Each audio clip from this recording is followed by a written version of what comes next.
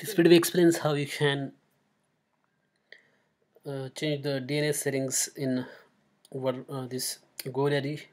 For that, log into your GoDaddy and then uh, your profile you have to click on My Products.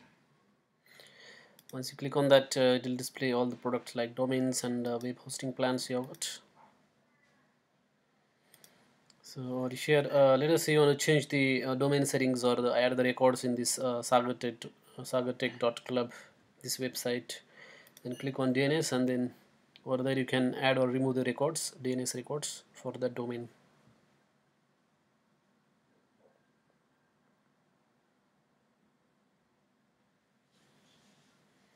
So here you can see that uh, there are different types of records that are there which you can edit by clicking on this button or if you want to add new records you can click here add and then uh, select the record type.